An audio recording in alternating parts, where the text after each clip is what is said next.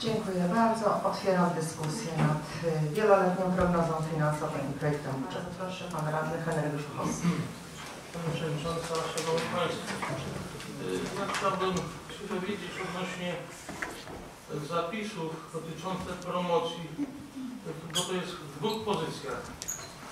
Promocja gospodarcza Warmii i Mazur za pośrednictwem przewoźnika. Jest to kwota na rok 2020 6 milionów 831 tysięcy złotych. I mamy drugą pozycję Promocja gospodarcza Warmii i Mazur. Pozycja w tym roku 586 e, tysięcy złotych.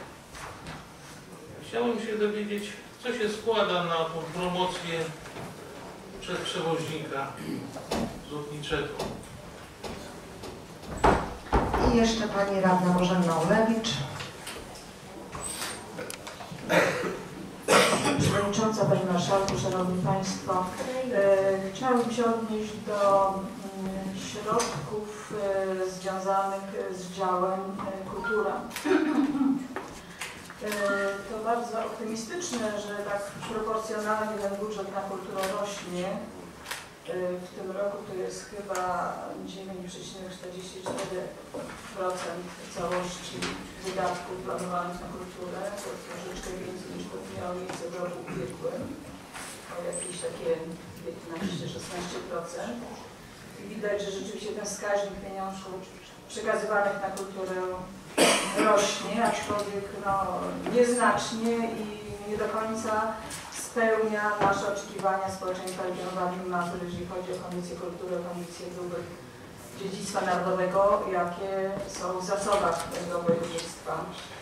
Owszem, można powiedzieć, że to jest satysfakcjonujący wskaźnik, że w tym przyszłym roku Pan Marszałek, przepraszam, Zarząd Województwa Rady, to Państwo pewno przegłosują za chwileczkę, przekażecie na konkursy z zakresu ochrony dziedzictwa kultury materialnej, czyli na zabytki 600 tysięcy złotych, aczkolwiek kiedy weźmie się pod uwagę fakt, iż województwo podlaskie, którego zasób dziedzictwa narodowego, materialnego jest bez porównania, bez porównania niższy niż naszego województwa, przekazał już na ten cel na rok przyszły 2 miliony złotych. Tu 600 tysięcy złotych przy tych naprawdę wartościowych e, obiektach klasy prawie że zerowej w wielu wypadkach i tu województwo podlaskie 2 miliony złotych. E, Nieadekwatne też są sumy e, przekazywane na kulturę w naszym województwie w porównaniu z innymi województwami. Województwo e, pomorskie też już przegłosowali budżet na rok 2020, przekazało na ten cel chyba 120 milionów złotych. Dobrze, pamiętam, tak, 122 miliony złotych. Województwo zachodniopomorskie około 100 milionów złotych. My mamy na ten cel zaledwie 79, no blisko 80 milionów złotych. A też mamy przecież bardzo ważne placówki, mamy przecież teatry, mamy muzea, mamy filharmonię. I już wchodząc w takie pewne szczegóły, trochę niepokoi mnie fakt, że w przypadku teatra, teatru Jaracza, który nie tak dawno został zrewitalizowany ze środków unijnych za kwotę 36 milionów złotych, nie wiem, czy to była już końcowa kwota, ale taka się pojawia w różnych zestawieniach, po raz kolejny wymaga jakichś e, naglących remontów. Tutaj rzecz dotyczy wykonania prac budowlanych zawilgocenia ścian piwnic teatru. Z 200 tysięcy złotych Państwo tutaj zapisujecie taką potrzebę na rzecz tego, tej placówki na rok przyszły. Poprzedniej ka- kadencji, jeżeli dobrze pamiętam, żeśmy wielokrotnie rozmawiali, czy rzeczywiście y, trzeba po raz kolejny zajmować się dachem tego teatru, przypomnę zrewitalizowanym za 36 milionów złotych, bo okazało się, że też tam coś się wydarzyło, jakieś zawilgocenie i, i trzeba było wymieniać y, deski w pewnym czasie. Ingerencja budowlana sięgała wówczas dachu, teraz schodzimy do, do piwnic, jest zawilgocenie, tam było zawilgocenie. Nie wiem, może trzeba przeprowadzić jakiś, audyt tych środków wydatkowanych i, i a w zasadzie e, rzetelności robót, jakie zostały wykonane w tym teatrze, że w dalszym ciągu pomimo znacznych środków, które były związane z rewitalizacją, wymaga on kolejnych naszych nakładów. No 200 tysięcy złotych jednak jest to dość znaczący pieniądz, nad którym warto byłoby się zastanowić. I jeszcze jedna rzecz, na którą zwróciłam uwagę. E, Trochę się dziwię, może ktoś tutaj z Państwa, nie wiem, może Pan Dyrektor Departamentu Kultury mi wytłumaczy, dlaczego dotacja, podmiotowa e, na centrum, w ogóle bardzo wysoka jest dotacja na, e, do, wysoka jest dotacja, znaczy wysokie są środki na Centrum Edukacji i Inicjatyw Kulturalnych w Olsztynie. Kto z Państwa odwiedza ostatnio CEIK? Kto wie, co tam się dzieje? E, W moim przekonaniu, myślę, że tylko moim, jest to placówka, która naprawdę no, nie produkuje nic na tyle istotnego, że wymagałoby to przekazania na tą instytucję środków dwukrotnie większych niż na przykład na Teatr Jaracza, niż na e, Teatr Sebruka, czy na Filharmonię Olsztyńską i niepokojący jest dla mnie tutaj zapis dotyczący dotacji podmiotowej. E, 4,5 miliona złotych na dotację podmiotową właśnie w CEIK-u, a w przypadku dotacji podmiotowej dla Teatru Jaracza, jednak jakby nie patrzeć, tworzy tą wartość dodaną każdym swoim spektaklem. To jest zaledwie 5,6 miliona złotych. Jeżeli chodzi o Teatr Sebruka, to jest 4,2 miliony złotych. No niestety nikt się nie pokusił, żeby rozwinąć w opisówce, jak to wygląda w przypadku Olsztyńskiej Filharmonii. Z pewnością trzeba będzie zagłębić się w tabelki, E, ale uważam, że to jest taka dość dziwna proporcja i, i byłaby naprawdę bardzo tutaj zobowiązana, gdyby ktoś z Departamentu Kultury wytłumaczył, skąd się bierze taka duża dotacja. Ja wiem, że tam dalej widać, że będą pewne remonty. Te remonty dotacji w postaci dotacji celowej no, są z pewnością uzasadnione i zarówno w przypadku obiektu przy Sparkowej, jak i przy Kościńskiego. No ale ta dotacja podmiotowa jest mnie troszeczkę zdumiewająca. Więc reasumując, Panie Marszałku, więcej pieniędzy trzeba na tą kulturę, bo nadal wydajemy zbyt mało, zbyt mało, nawet adekwatnie do tego budżetu i więcej pieniędzy na zabytki. Dziękuję bardzo.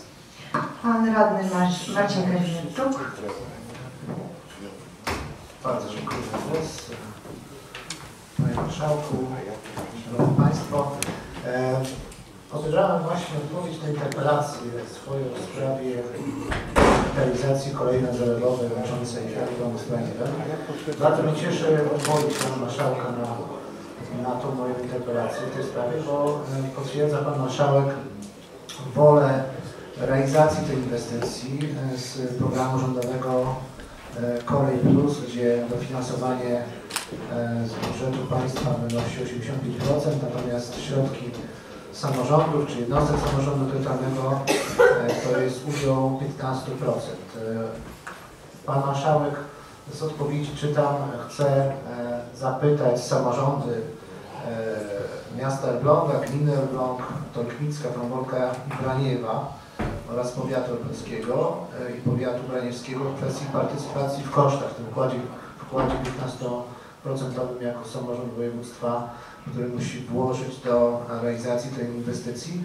E, Te zgody w przypadku powiatu braniewskiego czy też Elbląga już e, były uchwalane przez stosowne organy kolegialne, czyli albo Rada Miasta Elbląga, albo Rada Powiatu Braniewskiego wypowiedziały się pozytywnie e, w tym względzie. Natomiast odnosząc to do e, tego budżetu, który będziemy teraz głosować, mam tylko pytanie, czy ewentualnie e, będzie możliwość, gdybyśmy otrzymali satysfakcjonującą odpowiedź od tych samorządów, e, zabezpieczenia już w tym budżecie środków na tą dokumentację, która byłaby niezbędna do tego, żeby złożyć stosowną aplikację. E, Przypominam, że nie składamy tej aplikacji e, z, do Ministerstwa Infrastruktury, tylko do PKP PLK. E, W związku z tym to jest moje pytanie. Z jednej strony jakby dziękuję za to, że Pan Marszałek widzi e, sens, aby tą kolej nadzorową reaktywować, choćby w kontekście e, projektu przekopu Mierzei Wiślanej, choćby w kontekście ożywienia turystycznego tych miejscowości nad Zalewem Wiślanym, choćby e, pod względem uruchomienia e, transportu czy to pasażerskiego, czy też e, transportu towarowego pomiędzy tymi dwoma ośrodkami miejskimi, czyli Elblągiem i Braniewem. Dlatego e, odbieram to jako pozytywny e, aspekt i za to bardzo dziękuję. A jednocześnie chciałem zapytać, czy ewentualne środki na przygotowanie tej aplikacji, bo wiadomo, że czas tutaj też będzie odgrywał ważną rolę i nie tylko my, jako nasze województwo, będziemy chcieli aplikować do programu Kolej Plus, ale też inne województwa z całej Polski mają te projekty już czasami przygotowane. Tak, tytułem zapytania. Dziękuję. Proszę o odpowiedź na wszystkie pytania, Panie Marszałku. Szanowni Państwo, e, pozwolę sobie ustosunkować się do pytań zadanych w dyskusji, e, niemniej jednak jeszcze e, w uzupełnieniu e, merytorycznym Pani Skarbnik, jest obecny również Pan Dyrektor e, Departamentu Kultury, ale myślę, że e, co do intencji zadawanych pytań, e, to kwestia logicznego spojrzenia e, tutaj w moim ustosunkowaniu będzie e, chyba prosta i wymowna. E, Kwestia promocji. E, Panie radny, dokładnie tak jak jest zapisane. E, Trzeba to czytać i trzeba po prostu odnosić. Jeżeli chodzi o promocję gospodarczą na obszarze usługodawcy linii lotniczych, to tak faktycznie jest. Będzie promowany po prostu region warmińsko-mazurski na zasadzie usługi, która jest skorelowana z przewozami lotniczymi przez e, poszczególnych e, e, wykonawców i to w drodze przetargu będzie po prostu e, realizowane. Natomiast promocja gospodarcza, ona jest realizowana ciągle, e, bo aktualnie mamy e, w zaangażowaniu e, projekt e, na poziomie około e, 5 milionów złotych, to jest e, 2017 plus e, i e, jest realizowany, natomiast e, no, czekamy w zasadzie na renegocjacje, ale już dzisiaj przymierzamy się do realizacji około 6 milionowego wsparcia z Unii Europejskiej, również promocji regionu Warmii i Mazur i też zapis około e, 500 tysięcy złotych na wykorzystanie w danym roku tego no, sporego jak na nasze możliwości zakresu promocyjnego wspartego z Unii Europejskiej. E, To odnośnie promocji, natomiast odnośnie kultury, no, no tak e, nie chcę żartować, ale jak to się mówi potocznie, Staropolsko chciałaby dusza do raju, tylko jej grzechy przeszkadzają. No oczywiście, gdyby, gdyby tych pieniędzy było niesamowicie dużo i, i, i w nadmiarze i z jednej strony musimy się zdecydować albo ograniczamy deficyt, y, mniej zaciągamy kredytu, no krótko mówiąc, y, chociaż by nie wiadomo jak nam zależało na rozwoju kultury i na ratowaniu zabytków, nie możemy tego robić z kredytu. To jest y, oczywiste.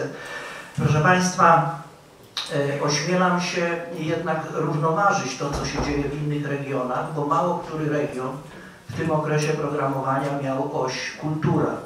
130 milionów euro, z czego y, około 60 milionów euro to y, środki przeznaczone typowo, dedykowane typowo na ratowanie y, kultury i dziedzictwa naszego regionu, dziedzictwa kulturowego.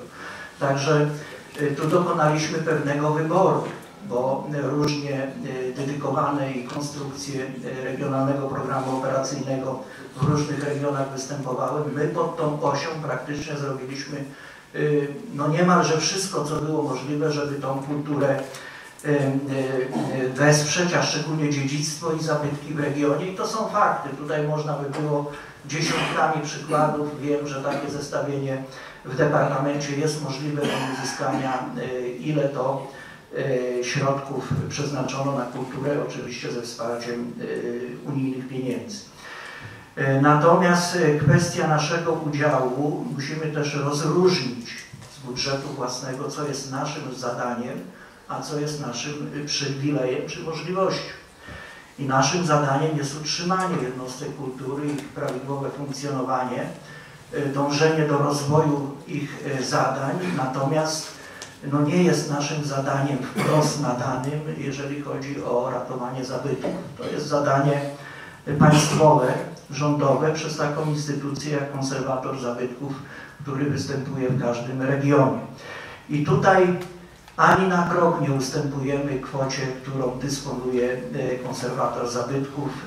E, Szacowane liczenie w tym roku to jest około miliona złotych z naszego budżetu, bo nie tylko w konkursie e, 400 czy 500 czy 600 tysięcy, ale e, to również takie punktowe, no, w trakcie roku 50, y, 100 tysięcy bywało i, i więcej, także około miliona złotych z własnego budżetu jako troskę o zabytki, po prostu tyle mamy, tyle dysponujemy. E, Zadanie jest to konserwatora zabytków. Tutaj nie ma najmniejszych wątpliwości, więc róbmy wszystko, żeby e, w budżecie państwa na Warmię i Mazury było 2 miliony, a nie 600 tysięcy u konserwatora zabytków w regionie i tutaj skierujmy swoje wysiłki, wiedzę, intelekt i możliwości polityczne, żeby te wsparcie było ze strony państwa do tak y, obszernego regionu zabytki, jakim jest Warmia i Mazury. Y, Teatr, proszę Państwa, no, y, jest to jednostka, która realizowała projekt y, ze wsparciem unijnym. Projekt jest zakończony, rozliczony, odebrany, nie ma zwrotów, jest w drodze konkurencji i przetargu realizacja. No nie, nie możemy też nie być nierealistyczni. To nie jest budowa od nowa, chociaż wiemy, że budowa od nowa też czasami ma wiele problemów. Mamy trochę też sytuacji Filharmonii, gdzie no, na, na, na ścieżce sądowej są niektóre sprawy z wykonawcą bądź przedsądowej. Natomiast tutaj przy y, no, starym budownictwie y, w zakresie y, inwestycyjnym dachu nie było, czy, czy tam nie było wszystko ukryte, więc pokazały się jakieś ubytki w kropiach, czy, czy innym materiale konstrukcyjnym dachu. No teraz mimo jak, jak rozumiem, przecież to jest y, na poziomie danej instytucji. Wy ani, ani zarząd, ani Państwo radni nie jesteście w komisji odbioru, ani w procesie inwestycyjnym. Jest dyrektor teatru, jest y, y, służby, które y, po prostu wykonują y, tą inwestycję w sensie nadzoru, ale y, dla nas piernikiem jest fakt, że tutaj projekt unijny został rozliczony. To są kontrole przecież i wewnętrzne, i zewnętrzne. Gdyby było coś nie tak, to y, z pewnością y, trzeba by było zwracać środki, jak nieraz to y, też miało miejsce przy jakichś błędach inwestycyjnych, naszych inwestycji własnych samorządu. Są jakieś problemy zamilkocenia, żeby zrobić zahamowanie czy, czy ekspertyzę, stąd no, trzeba dedykować pieniądze, nie ma innego wyjścia, przecież od niedania pieniędzy na ten cel nie zniknie nam wilgoć w Gliwicach. No jest realia i trzeba jakoś z tym się zmierzyć po gospodarstwu. Dotacja podmiotowa CEIK-u. Tutaj oczywiście e, Państwo są, e, mają szczególną troską e, objęty CEIK i, i, i wręcz nie ma sesji, nie ma komisji, żeby tabelarycznie nie przekazywać i, i, i nic zresztą nie ma w najmniejszym stopniu do ukrycia. Trzeba tylko rozróżnić dwie rzeczy. Dotacja, ona się nazywa podmiotowa e, haśle, natomiast trzeba rozróżnić e, dotację, która idzie do CEIK-u na e, funkcjonowanie e, samego, samego po prostu samodzielnego, można powiedzieć prawnie, instytucjonalnie obiektu czy instytucji, a też, to wielokrotnie podkreślałem, poprzez tą jednostkę realizujemy zadania, które są wpisane w budżecie. Wielokrotnie też, e, jak do tej pory było pokazywany przykład, mogę przytoczyć e, Kongresu Przyszłości, gdzie w budżecie mamy zapisane po prostu środki i teraz przystępujemy do realizacji. Możemy z tym się borykać e, poprzez departament, możemy przekazać w postaci dotacji do CEIK-u e, określoną kwotę, określić zadaniowo, co ma być i jak zrobione i CEIK to po prostu realizuje. I całej przestrzeni takich różnych zadań, różnych e, tematów, które są większe i mniejsze, to jak e, zestawienie było roczne, to jest dużo ponad miliard złotych e, e, w takich zadań, które zlecamy CEIK-owi i nie jest to na jego utrzymanie, funkcjonowanie, tylko poprzez CEIK wykonanie zadań, które mamy w budżecie wpisane. Mamy do tego prawo, to jest instrument, który e, może nam posłużyć do realizacji e, zadań własnych. I ostatnie, ostatnia kwestia kolei. Tutaj wydaje mi się, że jesteśmy na ścieżce i mam nadzieję, że jesteśmy na ścieżce decyzji i wyboru wspólnego i wspólnej odpowiedzialności. Konferencja, która miała miejsce e, bardzo robocza, nie propagandowa, zwyczajna robocza. Był prezes Ireneusz Merkel, był e, prezes e, Zgorzelski właśnie, mówi, żeby nie pomylić z wicemarszałkiem Zgorzelskim, to, to tak miałem zahamowanie, ale faktycznie prezes Zgorzelski. I teraz proszę Państwa, jest około siedmiu projektów w y, obrazie takim inwestycyjnym i, i, i poprzez y, poszczególne y, subregiony zgłaszanych, poprzez państwa radnych, dyskutowane właśnie z prezesem. I, I możemy, po pierwsze trzeba by było posortować, które projekty pójdą, mają możliwość pójścia z programu Kolej Plus, a które z drugiej perspektywy unijnej, obojętnie czy to będzie w RPO, czy będzie załóżmy w POIŚ. Niemniej jednak y, wydaje się też konsekwencją samorządów, bo y, 15% to niby niewiele, ale przy y, wielomilionowych, a nawet miliardowych inwestycjach, no to 15% to jest dużo.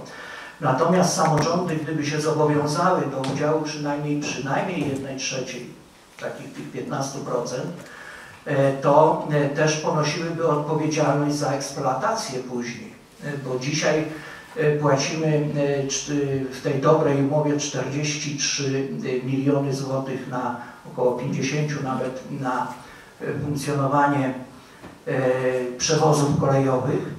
Natomiast umowa się kończy i przyszła zapowiedź, że może być y, 10, 14, nawet 15 milionów więcej. Już nie będzie 43, tylko grubo ponad 50 milionów, więc to trzeba z tym się liczyć. Każde uruchomienie, y, każda inwestycja nie zamyka wydatków. Ona później eksploatacyjnie, nie po to się buduje kolej, żeby y, jakieś pary pociągów nie jeździły, one muszą jeździć, tylko jak będą no, nieprzewidywalnie niezapełnione, to to będzie naprawdę bardzo, bardzo mocno kosztowało. I tu musi być wspólna odpowiedzialność, więc samorządy, które nie tylko dlatego, żeby dobrze wyglądało, ale z potrzeb y, przewozowych czy, czy towarowych y, widziały konieczność uruchamiania takich linii, powinny się y, teraz intensywnie odezwać. My również w procesie renegocjacji mamy zapisane możliwość sfinansowania z Unii Europejskiej projektów, no, można to powiedzieć przedprojektów, programów funkcjonalno-użytkowych, y, który, dla których beneficjentem będzie PLK. I jak ogłosimy taki konkurs, to myślę, że PLK mm, musimy uzgodnić, bo to muszą być realne y, wydatki, bo nie, PLK nie podejmie jakiegoś wstępnego projektowania linii, która y, będzie nierealistyczna, czy, czy, czy w dalszej kolejności do realizacji. Jesteśmy w kontakcie y, z panem prezesem, pan prezes podpowiada, niemniej jednak niełatwy wybór będzie musiał y, szybko nastąpić w oparciu o taką wspólną y, korelację i odpowiedzialność, bo wszystkich się nie da zrobić projektów. Pan prezes mówi, że z kolei plus może dwa macie szansę. Y, Te, które są w obrębie inwestycyjnym, to pewnie sam wskaże, że jest, są w perspektywie w przyszłym okresie programowania i będziemy się tej współpracy trzymać, bo ona ma sens y, i planowania, i wydatkowania nawet niedużych pieniędzy na y, projektowanie. Dziękuję bardzo. Dziękuję bardzo. Pan, może. Nie, nie, ale ja mam... Trudna odpowiedź mnie nie zadawała. pan radny Henryk Żuchowski. Proszę włączyć mikrofon. Ja będę udzielała głosu. Pani Przewodnicząca, Szanowni Państwo, Panie Marszałku, ja nie chcę promocji, tylko wydając, proszę Pana, 27 milionów złotych, to chciałbym wiedzieć, jak Pana ma wyglądać. Bo jeżeli, proszę Pana, Pan chce ogłosić przetarg na e, promocję e, województwa warmińsko-mazurskiego, no to również Pan chyba wie, czego Pan chce od tego, który ma promować nas. No chciałbym się dowiedzieć, czy to będą plakaty rozwieszone na, na, na stawkach powietrznych. Jak to ma wyglądać za 27 milionów? Pan, No i oczekuję tego, od pana. Ja odpowiem. Dwa razy, że to jest promocja. Zwyczajnie odpowiem. E, Będzie przetarg, będzie Pan śledził po prostu warunki specyfikacji, będzie Pan wszystko wiedział. No. Bo taka jest e, zasada e, działania. To nie jest 27 milionów, Pan sam wskazywał około 6 wcześniej. Nie, to jest cała kwota na to jest 27, Panie Marszałku. Panie Nie, radny, ale proszę poczekać, aż odpowie marszałek i po kolei odpowiadajmy. Nie róbmy z chamstwa cnoty. Króciutko, tak jak Panu mówiłem, jest to promocja gospodarcza regionu Warmii i Mazur na przewozach lotniczych różnych operatorów, więc e, e, wyłoniona w drodze e, przetargu. Dziękuję ale czy był przetarg już? No ale ja mam jeszcze pytanie. Proszę bardzo. Czy był już przetarg? Wie Pan, nie można robić przetargu, jak nie ma zabezpieczonych środków. To na podstawie czego jest ta kwota podana? Na podstawie szacunku, tak, dokładnie, bo to jest... To No to jeżeli była na podstawie szacunku, to proszę mi przedstawić, co jest w tym szacunku, bo chyba na podstawie szacunku się robi, tak. Tylko z czegoś to wynika. Przypominam, że jest Pan na sesji. Głosu kolejno udzielam ja. Proszę się zgłaszać i będę udzielała głosu. Jeszcze raz. E, Pan Grzegorz Kierozalski. Bardzo proszę. Ja chciałem dopytać Panie Marszałku, bo ja już stary jestem, może nie usłyszałem, może Pan Marszałek się przejęzyczył. Mówił Pan o CIK, że realizuje wiele zadań i wspomniał Pan kwotę 1 miliarda złotych. No mam nadzieję. Dziękuję. To było badanie. Przepraszam. Pan radny Marcin Kaźmierczuk. Bardzo dziękuję Panie Przewodniczący za udzielenie głosu. E, Tylko jedno zdanie, wracając do tej kolei plus. Ja mam nadzieję, że zadaj tą siłą wiodącą, jeśli chodzi o ustalenia z poszczególnymi samorządami po trasie kolei gazerowej. To znaczy będziecie Państwo e, pytać formalnie poszczególne samorządy, czy wyrażają chęć i ewentualnie jaką kwotę mogą zadysponować. Tak żebyśmy mieli pewność. Widzę, że Pan Marszałek e, potwierdza, więc to jak kwestia jest już załatwiona. E, Druga rzecz, mm, też w ramach mojej interpelacji, którą złożyłem jednej z kilku pod koniec roku, właśnie e, pod względem tego, że będziemy głosować dzisiaj budżet na 2020 rok, no to znowu chciałem podziękować Panu Marszałkowi za to, że e, zwiększa kwotę e, wkładu własnego samorządu województwa na nową przeprawę mostową na rzece Łyny w ramach projektu przebudowy drogi 512 z nową przeprawą w ramach programu Polska-Rosja.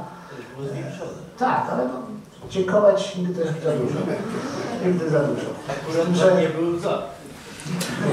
Byłem też przeciw, ponieważ dalej właśnie dalsza część, dalsza część mojego, mojej kwestii jest ciągle e, ta sama.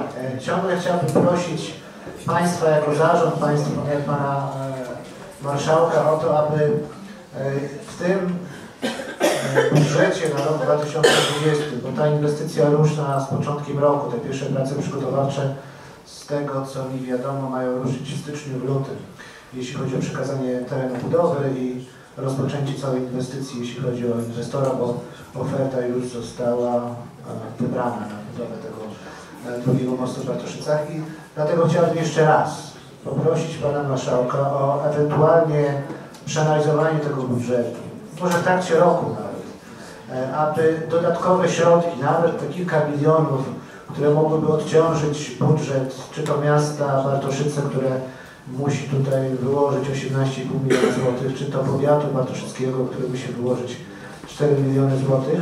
E, Byłbym wdzięczny, gdyby Pan Marszałek jeszcze w ramach 2020 roku, w ramach tego budżetu, który dzisiaj głosujemy, również przychylnie pochylił się nad e, ewentualnym odciążeniem tych dwóch e, samorządów, które nie ukrywam, no, mają poważne zobowiązania, jeśli chodzi o samorząd miasta Bartoszyce, to tutaj kończy się rewitalizacja Starego Miasta, która e, pochłonęła znaczne środki, jeśli chodzi o powiat bartoszycki. To wszyscy wiemy, że te jednostki samorządu terytorialnego nie posiadają żadnych e, znaczących środków finansowych, szczególnie tak dużych, jeśli chodzi o kwestie inwestycyjne. Taka byłaby moja prośba. E, Pan radny Miron Sycz, adwocem. Pani Przewodnicząca, Szanowni Państwo, ja chcę e, wyraźnie jeszcze raz e, przypomnieć, e, że ten drugi most dotyczy przede wszystkim mieszkańców Bartoszyc i powiatu bartoszyckiego. Chcę podkreślić w sposób zdecydowany, to my jako województwo mieliśmy inne plany co do programu Polska-Rosja. Mieliśmy tam zainwestować w drogi wojewódzkie, na przykład w drogę y, Bartoszyce-Szczurkowo, która do nas y, należy. To wówczas burmistrz Bartoszyc poprosił, czy moglibyśmy przejąć tę inwestycję, ponieważ Bartoszyc nigdy nie byłoby stać na to. Podkreślam, że w tym programie Polska-Rosja jest aż 90% dofinansowania środkami y, unijnymi. To wówczas powstał problem, że te 10%, czyli tą pozostałą część y, pokryje miasto, ale z prośbą, aby ta inwestycja poszerzyła swój zakres i o drogę dojazdową y, ze strony y, drogi 512, ale przede wszystkim ulicę Poniatowskiego. I ta ulica w rzeczywistości i te roboty niemostowe są droższe niż przebudowa mostu. Niestety ceny w trakcie wzrosły tak wysoko, że ta część 10%, zresztą jak w ogóle we wszystkich inwestycjach ostatnio, zrobiła się prawie 50%. Z tego też względu rozważaliśmy, czy przypadkiem nie wycofać, nie zmienić projektu na tylko przeprawę mostową bez modernizacji e, ulicy Poniatowskiego, to bo sama modernizacja ulicy Poniatowskiego kosztuje chyba, jak pamiętam, około 14 e, milionów złotych. To aż taki koszt. Stąd też takie, a nie inne e, są nasze decyzje, przy czym zrobiliśmy wszystko, aby jeszcze na poprzedniej sesji zwiększyć wkład y, własny z naszego budżetu o kolejne 4 miliony. Też chcę przypomnieć, że przez 3, nawet więcej lata to Zarząd Dróg y, Wojewódzkich przygotował całą dokumentację, przeprowadził cały proces, na który y, samorządu miasta Bartoszyca i powiatu byłoby nie stać. Zresztą oni to w sposób zdecydowany podkreślali. Będąc na sesji w Bartoszycach, wyraźnie doszliśmy do konsensusu, że e, powiedzmy spłaty czy też dofinansowanie rozkładamy e, miastu na 4, a może nawet na e, 5 lat, co byłoby jakimś symbolem. Natomiast pan burmistrz Bartoszyc wyraźnie też podkreślał, że inwestycja przeprawy drogowej do mostu spowoduje, że tereny inwestycyjne e, o tyle się e, poprawią, że będzie miał y, dochód własny bardzo istotny. Z tego też względu może dajmy spokój y, temu problemowi i e, niech ta inwestycja się rozpocznie, bo ona rzeczywiście jest potrzebna dla mieszkańców Bartoszy, dla powiatu bartoszyckiego i dla województwa warmińsko-mazurskiego. Po prostu rozpocznijmy tę inwestycję tak będzie najlepiej. Uważam, że e, Zarząd Województwa, Samorząd Województwa dołożył wszelkich starań, aby ta inwestycja powstała i żeby północ województwa, szczególnie powiat bartoszycki, gdzie też y, prowadzi drogę do granicy y, z Rosją, po prostu miał tę infrastrukturę drogową szczególnie na jak najlepszym poziomie. Przypominam przy okazji, że to też będzie połączona ta inwestycja z drogą 512, czyli od Bartoszyc y, przez Górowo, Pieniężno, Braniewo, tak naprawdę Fromburg, aż do Elbląga.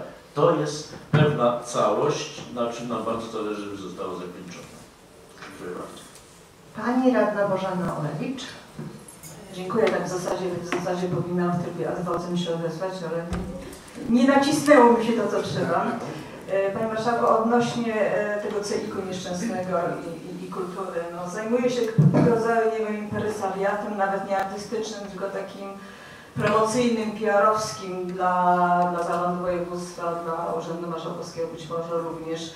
Natomiast Kongres Przyszłości wydawało mi się, że jest realizowany przez e, Gazetę Uczestnicką, to znaczy przez grupę WIM, przez Państwa Tokarczyków, nie wiem, być może tylko CEIK e, był pasem transmisyjnych środków, które były przekazywane dla grupy e, Urzędu Marszałkowskiego na realizację tego zadania.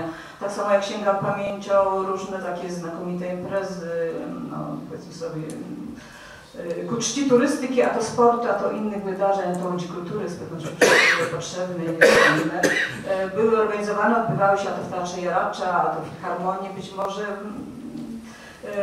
I, I teatr, i filharmonia mają swoje własne biura promocyjne i być może ich siłami też można byłoby przeprowadzić te wszystkie przedsięwzięcia. To nie znaczy, że tak już ostatecznie przekreślam ten CEIK, chociaż e, racjonalność funkcjonowania tej firmy już od dłuższego czasu wydaje mi się mocno wątpliwa, ale miejmy nadzieję, że, że, że nowy dyrektor, o właśnie może czegoś dowiemy się o konkursie, który tam się odbywa, chyba już drugie rozdanie na, na dyrektora CEIK-u, czy to się już rozstrzygnęło, czy to jeszcze jest w trakcie, e, nada temu przedsięwzięciu, tej instytucji jakiś konkretny sens, bo w tej chwili ja tego sensu nie widzę, łącznie z tymi środkami, które są przekazywane. I druga rzecz też e, adrem odnośnie wypowiedzi pana Gorczycy, a wcześniej na komisjach pani skarbnik też trochę tak się niepokoiła tymi wpływami z CIT-u i, i z PIT-u.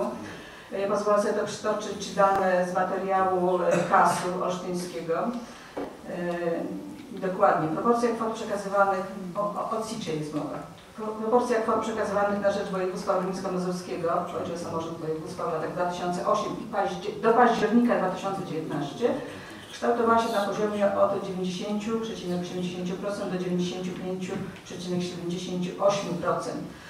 No i widać zresztą, że z roku na rok te CIT rosną i kwota udziałów przekazanych na koniec października 2019 roku w stosunku do kwoty udziałów przekazanych za rok 2018 pozwala przypuszczać, że dynamika udziałów na koniec roku 2019 będzie pozytywna. E, W podobnym tonie jest również wypowiedź kasu dotycząca PIT-u, więc ja naprawdę nie rozumiem Państwa zaniepokojenia, że coś mogłoby się tutaj wydarzyć nie tak, ażeby te CIT-y i PIT-y miały w jakiś sposób zaszkodzić racjonalności budżetu województwa warmińsko-mazurskiego. Dziękuję bardzo. Pan radny Stanisław Gorczyca, adwocem. Chciałem powiedzieć e, e, e, że to są fakty, po prostu takie fakty e, są w posiadaniu pani skarbnik i to są liczby, z którymi chyba nie powinniśmy dyskutować, a co to znaczy, że będzie mniej pieniędzy w budżecie, to Państwo wiecie. Dziękuję. E, Pani skarbnik Aleksandra Waszkiewicz, adwocem. Chciałabym się odnieść do wypowiedzi Pani Radnej Gulewicz. Otóż Pani Radna przytoczyła e, dane KAS-u za rok 2019. Bo w 2019 roku e, nigdy nie było mowy, że jest jakieś wybitne zagrożenie. Kształtuje się niżej niż wykonanie dochodów i z PIT-u i z CIT-u, niżej jak w roku 2018, natomiast nie jest to zjawisko jakieś niepokojące. Natomiast jeżeli chodzi o budżet, o projekt budżetu na rok 2020, to tutaj sytuacja jest całkowicie jasna. Dochody z PIT określone y, przez ministra finansów są niższe niż w roku 2019. I tak jak porównamy od 2014 roku dochody z PIT-u, które systematycznie po kilka milionów rok do roku rosły, czyli ta dynamika była zdecydowanie wyraźna w postaci dodatkowych y, y, y, dochodów. To rok 2020 jest pierwszym rokiem, którym już minister finansów stwierdza, że ta dynamika zastopowała. Te dochody kształtują się niżej o 48 800 zł, czyli y, zastopowane na poziomie roku 2019. Natomiast jeżeli chodzi o CIT, trudno cokolwiek, bo można w tej chwili szacunkowo tylko przewidywać wykonanie roku, ponieważ nie wpływy y, decydują o y, wysokości wykonania, a udziały. Te udziały po, dopiero po zakończeniu kwartału będą y, określone przez ministra finansów. Czyli na tym etapie to jeszcze nie można powiedzieć, jakie wielkości ostateczne w tym zakresie wystąpią. Niemniej, ponieważ obniżyliśmy, obniżyliśmy te dochody, wydaje się, że realne będzie wykonanie. Ale jeżeli chodzi o rok 2020, to nie możemy uniknąć prognoz e, makroekonomicznych, jakie e, różnego rodzaju agencje przedstawiają w zakresie e, wzrostu dochodu narodowego i y, y, ogólnego spowolnienia gospodarczego, jakie wszyscy, ale to absolutnie wszyscy stwierdzają, e, e, że takowe wystąpi w roku 2020.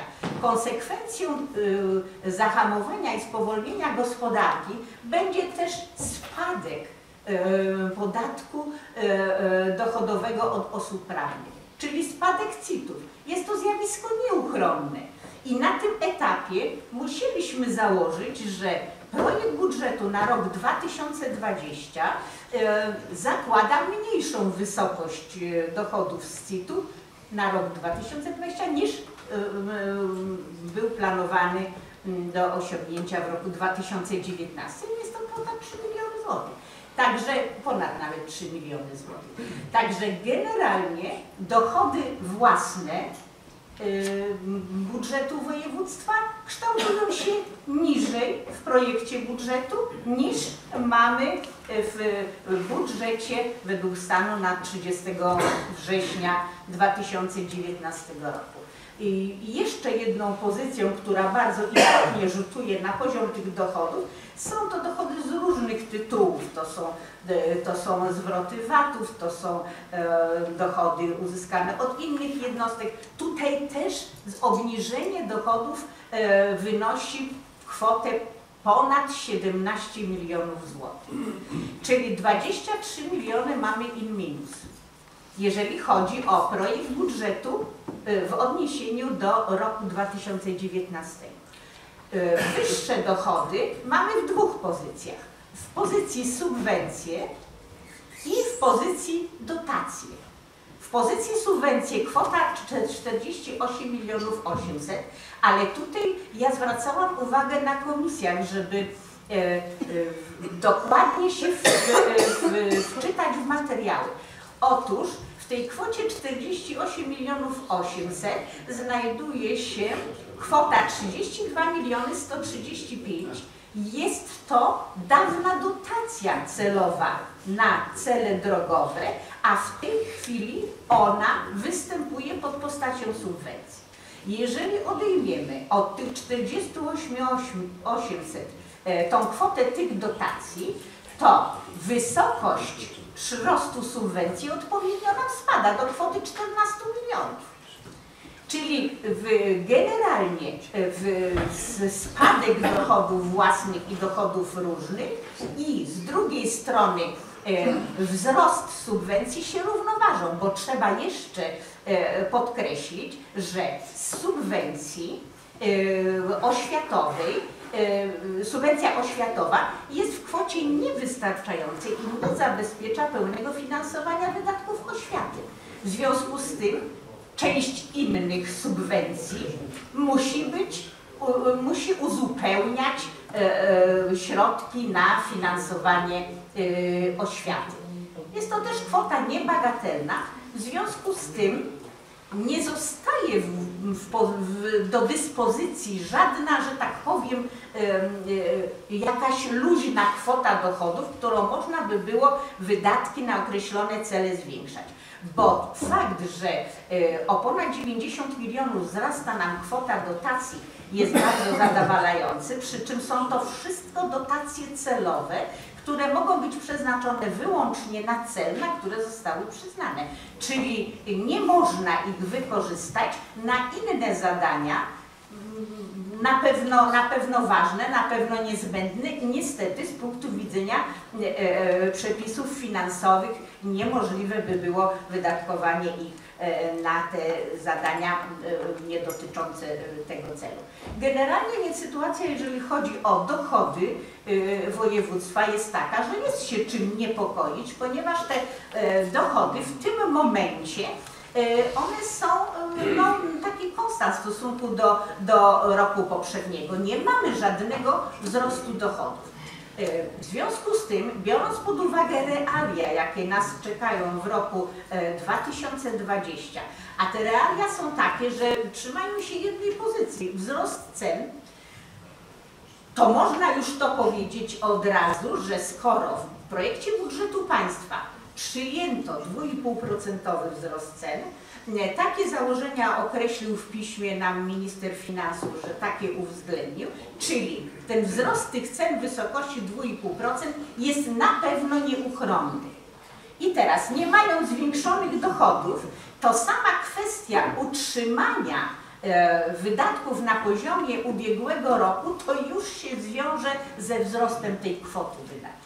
Także no, y, możliwości budżetu w zakresie finansowania wszystkich niezbędnych zadań w pełnej wysokości są niestety bardzo ograniczone z tych, y, z tych przyczyn. Ograniczone kwotą, kwotą dochodów. Nie mamy poza tym, chciałam to podkreślić, żadnych możliwości na zwiększanie dochodów, bo y, te dochody, które możemy uzyskać z em, majątku województwa w postaci czynszów czy w postaci dochodów ze sprzedaży tego majątku, to są zasoby ograniczone w tej chwili, żadnymi takimi nie dysponujemy, które by w sposób istotny spowodowały e, wzrost e, budżetu województwa, wzrost dochodów budżetu województwa.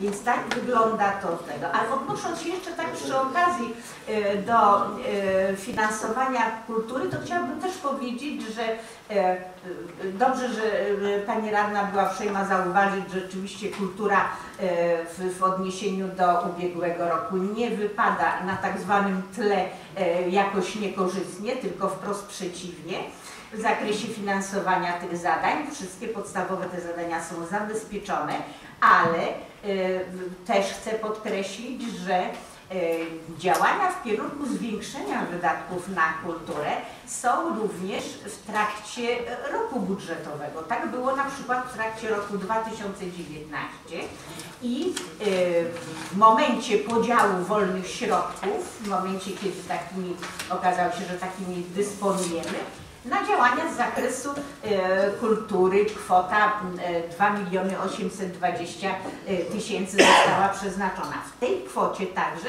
figurowały e, wydatki na e, e, zabytki. Była to kwota 275 tysięcy. Także e, takie działania w kierunku zwiększania poszczególnych szczególnie takich no, newralgicznych e, e, działań w e, różnych dziedzinach są podejmowane również w roku, w roku wykonywania budżetu. Dziękuję bardzo. Co prawda bardzo wyczerpujących informacji udzielała Pani Skarbnik na komisjach, ale rozumiem, że powtórka potrzebna była. Pan Radny Henryk Żuchowski, bardzo proszę. Pani Przewodnicząca, Wysoka Rado, przed chwilą słyszeliśmy, jak Pani skarbnik mówiła odnośnie budżetu, że jest bardzo ciężkim budżetem, że są, mogą być problemy, a z drugiej strony wprowadza się nowy wydatek dotyczący promocji za rzędu 27 milionów złotych. Prawda? I do tego jeszcze jest problem z przedstawieniem kalkulacji, na podstawie czego to zostało wyliczone 27 milionów, a nie 35 albo 15. Po prostu mnie to interesuje. Proszę o przedstawienie, ja mam takie prawo, kalkulacji związanej z promocją ujętą e, w tej pozycji odnośnie e, promocji w Armii i Marszu. Pan Radny rzecz, ale jeszcze nie skończyłem Pani Przewodnicząca. Inni mówili po 10 minut, mam nadzieję, że też dostanę trochę dłużej. Proszę bardzo. Dziękuję bardzo. E, Druga sprawa, interesuje, interesuje mnie sprawa planu cyfryzacji. E, No wartość jest tutaj e, bardzo duża i chciałbym się dowiedzieć, co jest w tym zakresie, e, w tej kwocie, prawda, 11 milionów, czy to jest rozwój, czy tylko to jest utrzymanie, jak wygląda ta sytuacja? Następna sprawa jest związana Przepraszam, teraz Olsztynek, Kaliningrad. Nie, tu pisze Olsztynek. E, Oraz wspólna współpraca i proszę Państwa, Ważne, że jest między innymi promocja szybkości. słucham? To jest właśnie promocja. Tak, ale proszę Państwa, patrząc na politykę, która e, jest prowadzona akurat przez rząd tego miasta, które współpracuje, no nie wiem, czy to jest najlepszy, najlepszy kierunek tej współpracy. Jest to kwota y, może nie taka duża, bo to jest na ten rok 447 tysięcy złotych, ale znalazłyby się pewnie lepsze cele do wydatkowania. I mam też pytanie do tego, y, co wchodzi y, właśnie w tą wartość tej współpracy. Dziękuję. Pan radny Marek Chyl. Pani Przewodnicząca, Panie Marszałku, Pani Przewodnicząca, Panie Marszałku, Szanowna Rado, Szanowni Państwo. E, Chciałem powiedzieć, że w przebiegu dotychczasowej dyskusji słychać, że zajmujemy się różnymi dziedzinami. E, Oczywiście nie poruszyliśmy też jeszcze wszystkich dziedzin, którymi, na które przeznaczony jest budżet. Tu, idąc w konkurencję z Panem Marszałkiem, mogę powiedzieć, że tak krawiec kraje jak u materii staje. Nam staje materii wystarczająco. Jeżeli wszystkie nasze jednostki e, mogą się godnie rozwijać, nie jest zahamowana żadna ich praca statutowa, e, regulaminowa, wynikająca z ich zadań bieżących, to wydaje się, że to jest sukces. E, Słyszymy, że dochody w tym roku budżetowym będą nieco niższe. Mimo wszystko poradziliśmy sobie z tym, że zaplanowaliśmy inwestycje na bardzo dobrym, wysokim poziomie, dającym szansę na dalszy, stabilny postęp i rozwój naszego regionu. Jeszcze rok temu, przypominając trochę historię w styczniu, mieliśmy bardzo duże zawirowanie w Departamencie Budżetu i Finansów. Było kilka miesięcy niepewności tego, jak sytuacja się będzie dalej rozwijać. Doskonały wybór nowej pani skarbnik spowodował to, że na Komisji Budżetu i Finansów nie mieliśmy żadnych kłopotów i problemów z tym, jak jest tworzony budżet, jak jest kontynuowany budżet, bo trzeba wiedzieć też o tym, że pani skarbnik weszła już jakby w budżet e, funkcjonujący, który musiała szybko e, zorientować się, w jakim kierunku działa i jak, jak przebiega wydatkowanie środków. No i oczywiście podjąć się doskonałych prac nad przygotowaniem łącznie z członkami zarządu budżetu nowego.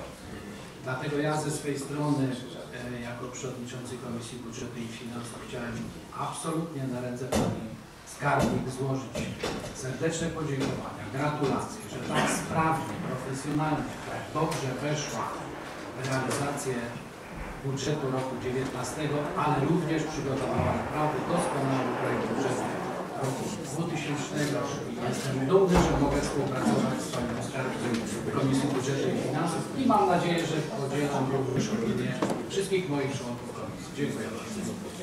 Dziękuję bardzo. Pan radny Henryk Wrwowski. Ja oczekuję na odpowiedź z tego, że zadałem pytania. Jakoś dziwię się, że nikt nie jest w stanie mi odpowiedzieć. Ale skąd pan wie, że nikt nie jest w stanie?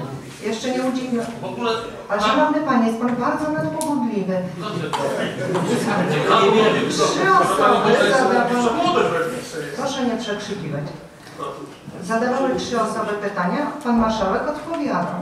Zadał pan pytanie, zgłosił się pan Marek Hyl, udzieliłam głosu i w tej chwili panu marszałkowi udzielam głosu.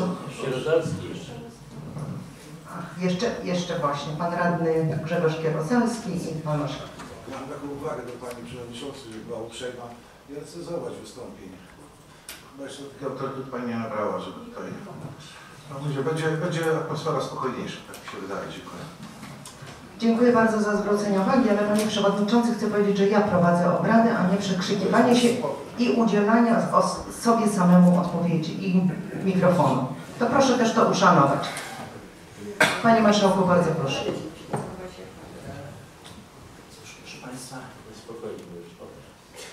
dobrze. Y, Taki, takie są zasady, taki jest przywilej każdego z Państwa radnych, żeby y, zadawać pytania. My też y, na bieżąco jesteśmy w stanie udzielać informacji, dlatego że codziennie, oczywiście nie wszystkich materii, ale tych samorządowych codziennie dotykamy jako zarząd.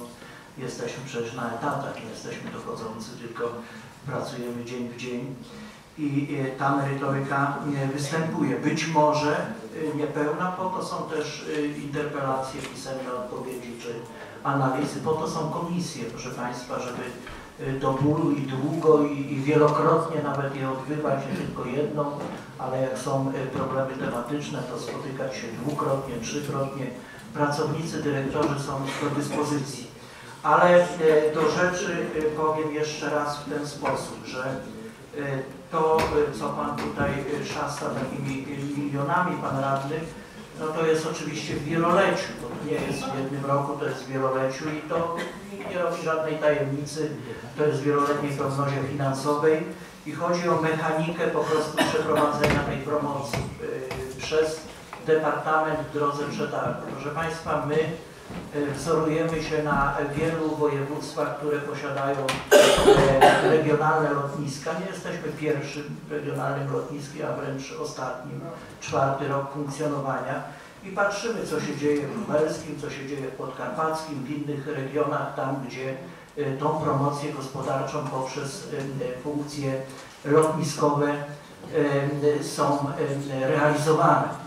Stąd też y, analiza kwot, skoro jest y, podobnie w, innym województwie, to u nas przecież nie będzie taniej, natomiast przetarg y, definitywnie y, rozstrzygnie. Także to nie jest wymysł naszego województwa, tylko to są województwa, gdzie regionalne lotniska funkcjonują i bierzemy z nich wzór. Jak czegoś się nie dopytaliśmy, to jeszcze się dopytamy, a może nawet y, komisję wyjazdową trzeba zrobić y, y, do jednego czy drugiego województwa, które na południu od wielu lat już te zadania realizuje w podobnej formie. Także y, y, naprawdę nie szukajmy jakichś anomalii, to jest po prostu standard, który występuje. Korzystamy z tych przykładów, które są już y, bardzo mocno spraktykowane i wytyczone.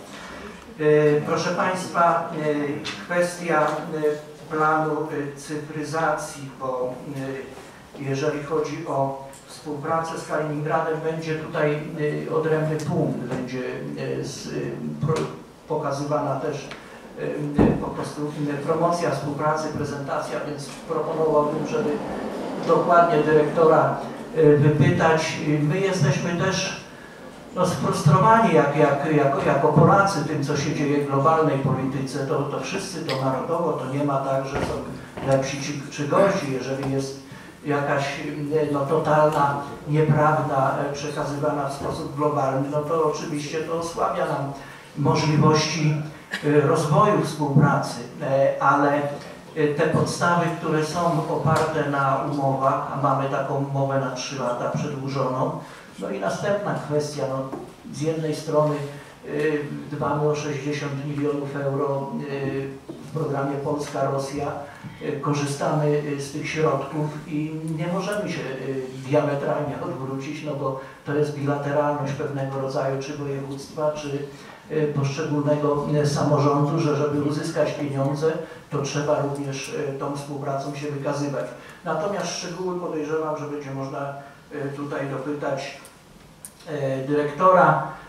Z przykrością muszę stwierdzić, że nie mamy y, podstaw y, do szerszego afirmowania rozwoju tej współpracy, chociażby poprzez takie działania, jakie ostatnio mają miejsce, czy jak wcześniej zajęcie floty ukraińskiej też około półtora roku temu. Także to są rzeczy, które oczywiście doskonale są zrozumiałe. No, tu, tutaj tych kwestii na pewno nie, nie tłumaczymy inaczej jak każdy z nas. No, tego nie może po prostu być i to nam osłabia możliwości współpracy. Y, Proszę Państwa, y, mówiłem o internecie szerokopasmowym, ponad 11 milionów, y, blisko 9, 8, ponad 8,5 miliona to są opłaty za zajęcie pasa drogowego. I to jest przepis prawny, tutaj nic 15 stycznia przychodzi i musimy wypłacić od, razu, no nie ma wyjścia, takie są przepisy, takie jest prawo. Głównie to powiaty, negocjujemy, rozmawiamy, pojedynczo część uwarunkowała te kwestie, natomiast część, szczególnie przy tej legislacji, o której mówiłem, gdzie następne umowy, y, minimalne opłaty, a, a, a te, które były po 200 y, złotych, to pozostają, budują tak e, niestety niesprawiedliwe obciążenie, bo samorząd wyrywa samorządowi. Y, Kwestia tych pozostałych y, około 3 milionów to są wydatki na eksploatację bieżącą. My mamy eksploatatora skazanego przez sąd, który e, trzeba płacić prąd, trzeba po prostu usługę bieżąco wykonać, no i, i są też rozprawy sądowe. Przecież prowadzimy wiele rozpraw sądowych, trudnych, niełatwych, bo e, znowuż jest taka sytuacja, że niektóre województwa wypłaciły pieniądze wykonawcy temu samemu i one zniknęły, nie ma, nie ma tych pieniędzy. My położyliśmy na depozyt, gdzie 70-80 nawet procent środków trafiło do wykonawców. 13 milionów zostało i ten wykonawca nie chce ich podjąć w ogóle, bo to nie są jego, on by musiał jeszcze dopłacić, żeby się z rozliczyć. Także e, zrozumcie też Państwo to, że e, my chcemy zabezpieczyć interes y, y, wykonawców, ale nie tych, którzy chcieli zbić majątek, tylko tych, którzy, y, podwykonawców, którzy realizowali tę inwestycję i działamy zgodnie z prawem. Nie jest to proste w naszym ustawodawstwie. Wiecie Państwo doskonale, że każdy po przekątnej może wszystko i wszystkich skarżyć i z tymi kwestiami borykamy się już y, od lat. Przecież rozwiązaliśmy umowę y, z y, wykonawcą, przejęliśmy całą sieć, która była no, w naszym przekonaniu dewastowana przez wykonawcę, bo nie utrzymywana w stanie gotowości. Jak siadają akumulatory, odłączamy je z prąd, no to siada wszystko w takim węźle. Więc musieliśmy to zrobić, natomiast wykonawca uważa, że, że on poniósł straty i nas skarży, więc musimy się sądzić. Samorząd nie ma domniemania, tylko musi mieć y, y, twardy argument sądowy. Y, Dziękuję to wszystko. E, Dziękuję bardzo. Czy Pan Radny Żuchowski jeszcze? Proszę bardzo. Pani Przewodnicząca, Panie Marszałku, dziękuję za teraz, za odpowiedź taką, a nie taką, że promocja to jest promocja. Przedstawił Pan, skąd, skąd wzięta jest kalkulacja, że popiera się to na innych lotniskach i to jest takiej odpowiedzi oczekiwałem. Teraz druga sprawa, y, sprawa związana z internetem. Y, No ja uważam, że w tym przypadku chcemy, żeby całe województwo jednak był, był wszędzie internet, a tak nie jest. I ja nie wiem, czy nie powinno być przeznaczonych środków właśnie na to, żeby ten internet był w końcu, proszę Państwa, bo my tutaj chcemy promować, tylko nie mamy zbytnio, nie chcę się dalej czegoś powiedzieć. Y, załat- Załatwmy sprawę w to, tak jest, co żeśmy weszli. Weszliśmy już kilka lat temu w internet, jest rozgrzebany i proszę Państwa, mogę podać bardzo dużo miejscowości, gdzie nie ma tego internetu. A tutaj słyszałem, prawda, Pan wypowiedział się, że mamy wszystkie sprawy już pozałatwiane, e, prawda, możemy tutaj pójść. Dlaczego mam z taką kwotą iść?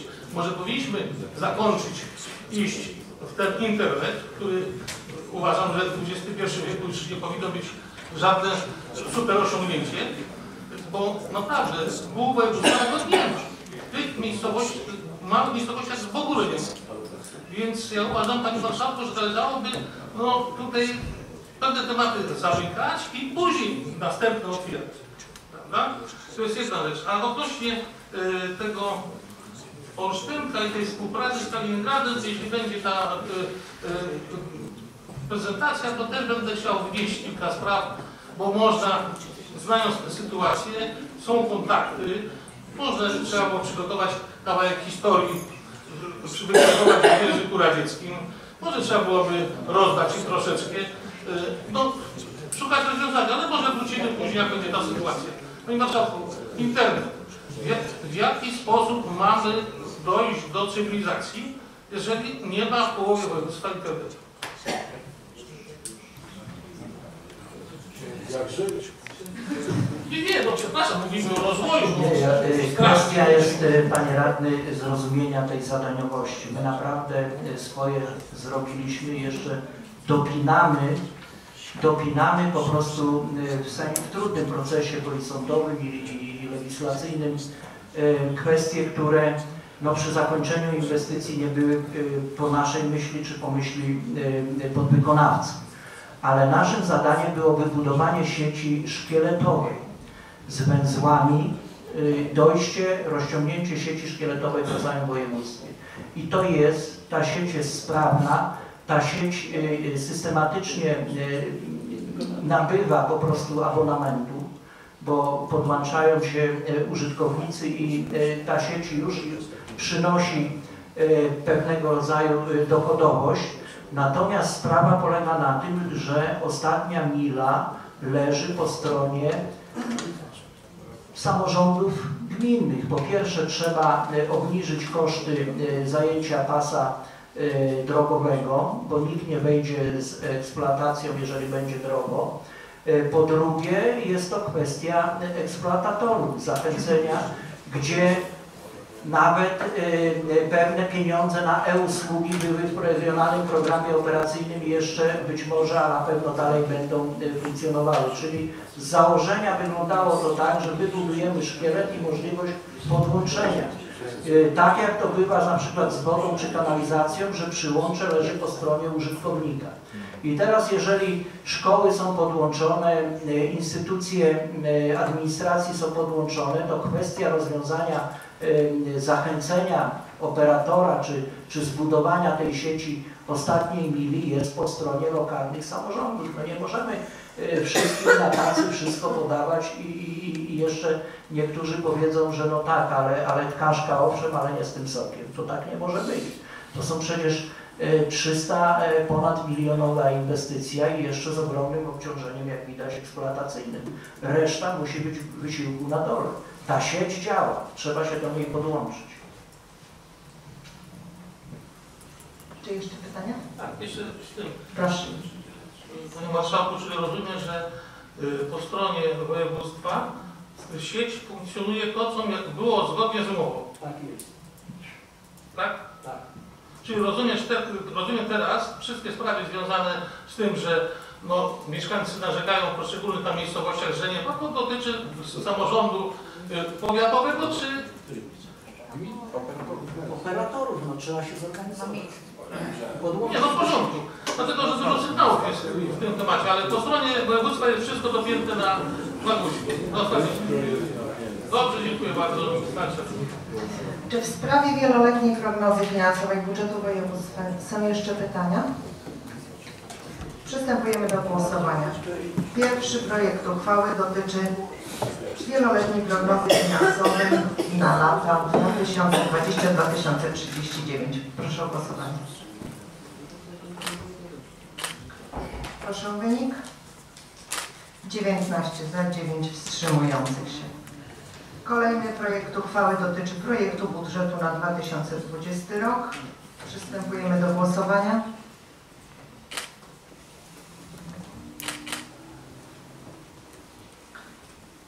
Proszę o wynik.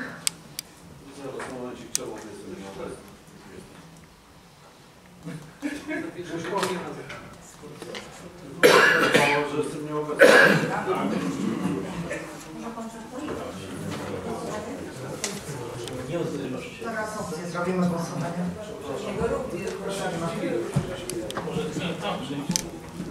Przystępujemy do głosowania. Reasumpcja głosowania w sprawie projektu budżetu.